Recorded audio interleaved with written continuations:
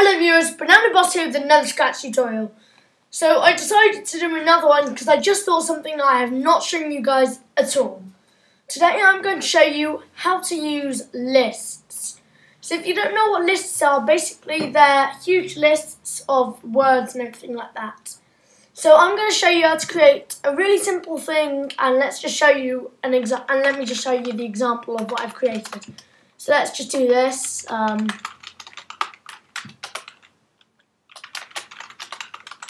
Alright, and now when you click the sprite, apples 5, pears 10, cakes 2. Alright, so. Now I'm going to show you how to make it that, so new. Let's just save that. And let's create a new variable first, which will be done. This is if you want to add the thing where it says it. So now let's just call this shopping list. Alright, so Actually, let's delete that and change the name. Let's make it shopping list. Like that. Alright, so what we want to do is when start is clicked, um, we want to delete all of shopping list. And now what we want to do is repeat until done equals true which will be when the sprite is clicked. So repeat until done equals true. Ask, what do you need from the shop? And it will add answer to shopping list. And now what we want to do is when this sprite clicked, set done to true. Now what we want to do, let's make sure that done is false and won't stay as true at the beginning. Now what we want to do is say and in data shopping list. So it's not literally going to say shopping list, it's going to say what's in there.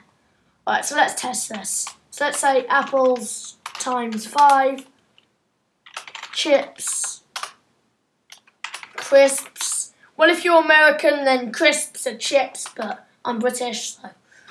Um, pears times three. Ki, ki, kiwis times seven. Bananas times 15.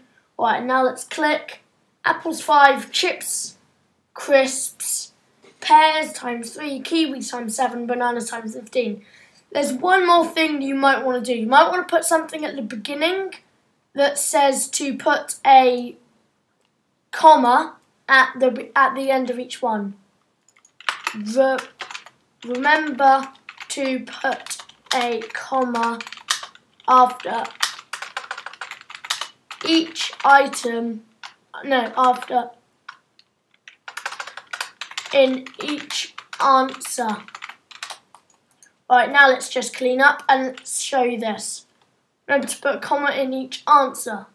Right, let's just make that five seconds. And now let's start. So, apples times five, bananas times times 15, pears times seven, eight, um, crisps and I forgot to put a comma afterwards, but oh well. Alright, so apples times 5, bananas times 15, pears times 8, and crisps. So I hope you enjoyed, hope this helps. Please like, comment, favourite, and subscribe. It means so much to me, and I will see you all next time. Banana Boss, out.